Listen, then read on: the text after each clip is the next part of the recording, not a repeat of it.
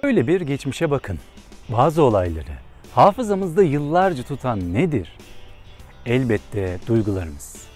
Pazarlamada kullanılan görseller işte böyle bir güce sahiptir. Bu nedenle bir markanın ihtiyacı olan hatırlanmasını sağlayacak görsel bir çekiçtir. Sadelik, görsel çekiç yaratma sürecinde kilit noktadır. İlk Mercedes logosu oldukça gösterişliydi ama çok az gücü vardı. Şimdiki Mercedes logosu ise sadeliğin zirvesini simgeliyor.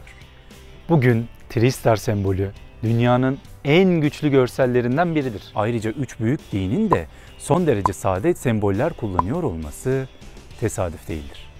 Peki daha önce kulaklıklar ne renkti? Fark edilmemesi için siyahtı. Ama Apple bir iPhone'a sahip olduğunuzu herkesin anlaması için kulaklıklarını beyaz yaptı.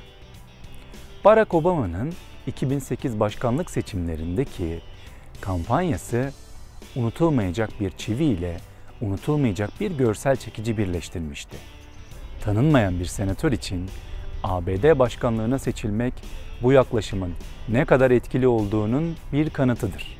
Hayvanlar onlara duyduğumuz sevgi nedeniyle son derece etkili bir görsel çekiç olabilir. 38 milyar dolarlık bir holding için bu bir faredir. Mickey Mouse, Hazreti İsa ve Elvis Presley'den sonra dünyanın en çok kullanılan görselidir. Görsel imgelerin büyük bir cazibesi ve doğal gücü vardır. İnsanlarla markalar arasında duygusal bağ kuran da bu imgelerdir. Çünkü doğa görseldir.